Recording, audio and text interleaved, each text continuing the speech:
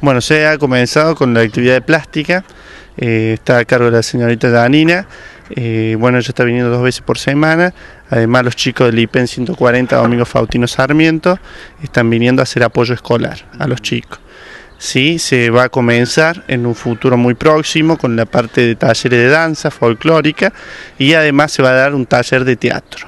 Sí, todo desde después de la merienda. Es como para articular el espacio cultural que habíamos prometido vamos a trabajar a través de una red solidaria y bueno, se está tramitando eh, lo que es la personalidad jurídica para darle la formalidad y para poder trabajar a largo plazo. Bueno, por eso lo llamamos a ustedes, para que la gente vaya sabiendo lo que nosotros estamos haciendo, para que vean que lo que han donado está siendo usado ya. Y aproximadamente llevamos un mes y medio de construcción y ya le estamos dando la altura. ella ya nos está faltando menos.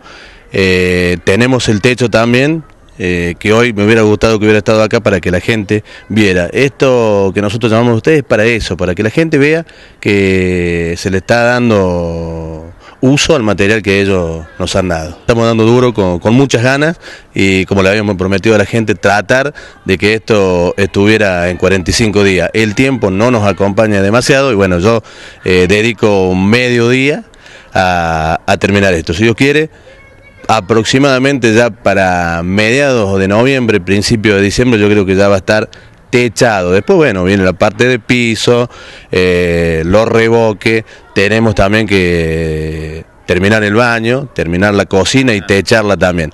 Todo, todo ya, ya lo tenemos eh, y bueno, de a poquito lo vamos a ir realizando. También quería aprovechar eh, esta nota para presentar a los padrinos eh, del merendero oficialmente, al señor Juan Ricardo Ferrero eh, y a su esposa, que van a ser los padrinos oficiales del merendero. Yo le propuse a César eh, a tratar de ayudarlos a través de la cuestión deportiva que manejo, que bueno, voy a ir a correr en marzo a Atacama y a partir de ahí dejarlo como un beneficio para el merendero en lo que es ayuda económica a través de una campaña solidaria que las vamos a estar largando el día 15 de noviembre con todos los detalles para que la gente y las empresas puedan ayudar.